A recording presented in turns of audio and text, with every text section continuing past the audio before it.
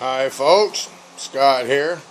Alright, here, there's Gigantor with all the accoutrements like you've seen before. But I took, um, did some crazy little things here. Let me get some light.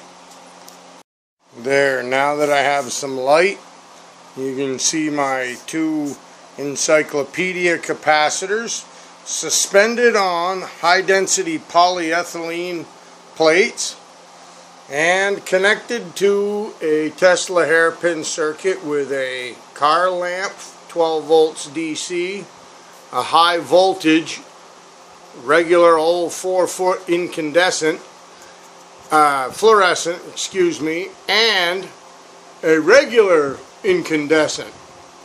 Alright, I'll demonstrate how all of those lights will illuminate with this spark gap through my encyclopedia capacitors and this ignition coil.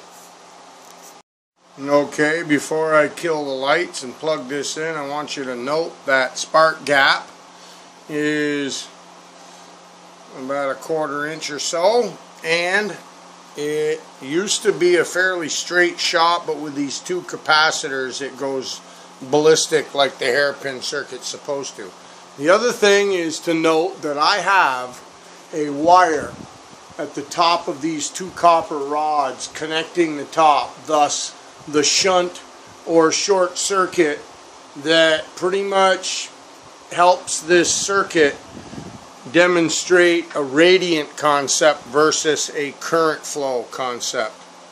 Alright, here we go. Oh, and the noise, I don't know. I'll just demonstrate from here on out. Alright, that's crazy. There's a little bit of a light. There's some light. I can feel the static. And there's the other light. That's just the way it sits without me having a vacuum cleaner.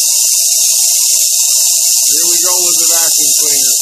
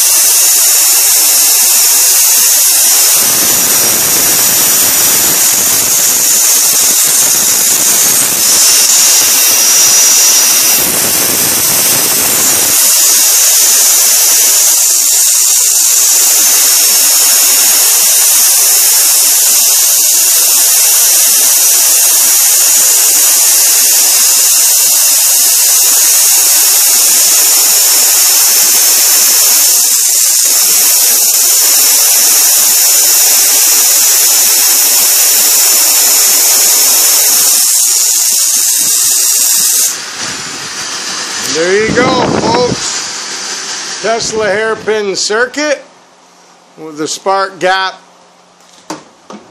resistance being changed with a vacuum cleaner to offset the impedance, improving or hindering the operation. Over and out.